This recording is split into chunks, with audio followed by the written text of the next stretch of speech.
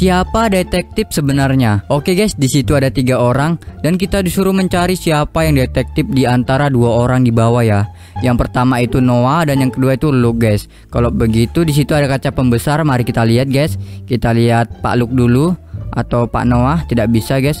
Atau jangan-jangan abang yang duduk di sini kita lihat. Wah di situ ada kertas. Apa bacaannya tuh ya guys ya? Dan ternyata bacaannya report by Detective Luke. Jadi yang detektif adalah Pak Luke ya yang B ya guys ya. Kita pilih B.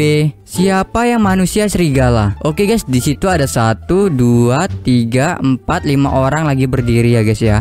Dan kita disuruh mencari siapa yang manusia serigala ya. Kalau begitu biasanya kalau manusia serigala itu munculnya bulan purnama ya guys ya. Dan di situ kita lihat masih bulan sabit guys. Oke kalau begitu kita lihat tanggalnya mungkin ya. Kita lihat tanggalnya. Wah bisa digerakin guys. Jadi tanggal 7 Wah, langsung bulan purnama dong. Dan manusia serigalanya adalah yang tengah, guys.